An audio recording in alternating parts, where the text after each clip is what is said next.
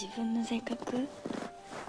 えー、っとねドジでうんちょっと負けず嫌いのところもあるしなんていうのかな。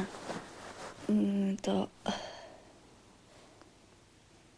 うんそんなとこかな。よくわかんない自分の性格。どっちかって言ったらまだ子供っぽい性格じゃないかな。大人っぽいはまだ言われたことがないって感じ。特に背伸びしてるっていうところもないし今のままでいいんじゃないかなと自分は思います。えーっと好きなものはとりあえず食べ物いきます。食べ物お寿司で好きな飲み物がえっ、とねいちごのジュースでしょ？あと何があったかな。えっ、とね。で好きな色が白。好きな季節が春。好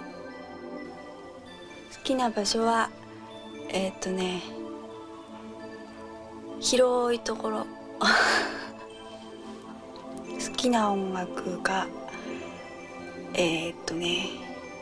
結構何でも聞くんだけどロック系。きな遊び。遊び。ドライブと遊園地とうん。あとスポーツ。得意な学科。勉強がダメだから体育です。好きなスポーツはテニスとスキー。OL?